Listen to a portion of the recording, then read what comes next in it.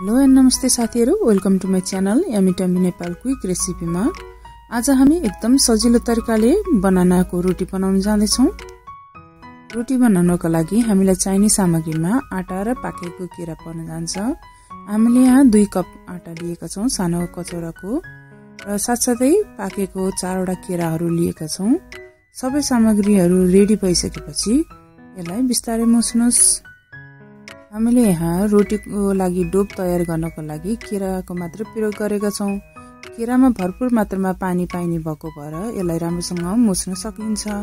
तपाईँहरूले समय दिएर मुस्नुहोला। मुस्ने बेलामा यति किलो भयो भने अलिकति त्यसमा पिठो पनि थप्न सक्नुहुन्छ बिस्तारै। डोप तयार भइसकेपछि त्यसलाई आधी घन्टा जति छोपेर राखिदिनु होला ताकि यसमा अझै नरमपन आओस्।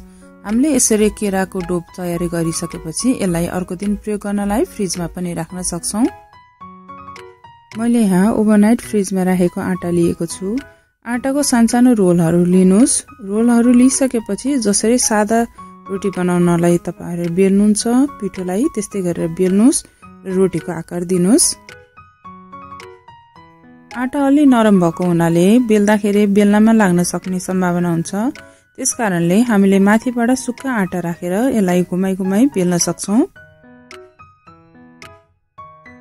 रोटी बेल्नको साथसाथै तपाईँले तावालाई गरम गर्नको लागि राखिदिनुहोस्। तावा गरम भइसकेको हुनाले हाम्रो रोटी एक साइडको अलि छिटै नै पाक्न सक्छ र यसरी बबल फर्म भइसकेको हुन्छ। यसलाई हल्का रूपमा तपाईँहरूले साइड साइडमा प्रेस गरेर पकाउन सक्नुहुन्छ। यति बेला चाहिँ तपाईँको आगोको फ्लेम मिडियम अथवा स्मल साइजमा राखेर पनि पकाउन सक्नुहुन्छ। किन भन्दाखेरि तातो भइसकेको तावामा हाम्रो यो रोटी छिटै नै राम्रोसँग फुलेर पाक्छ। हामीले कहिलेकाहीँ मुख फेर्नको लागि यसरी केराको रोटी पनि तयार गर्न सक्छौँ।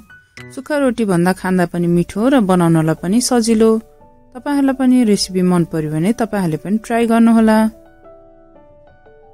यदि तपाईँहरू नयाँ हुनुहुन्छ भने मेरो च्यानललाई नबिर्सिकन लाइक र सब्सक्राइब र कमेन्ट पनि गरिदिनु होला र साथै रहेको बेल आइकनलाई पनि हिट गरिदिनु होला ताकि आगामी भिडियोहरू नयाँ उपलब्ध भइसक्यो च्यानलमा भनेर तपाईँहरूसम्म जानकारी होस्।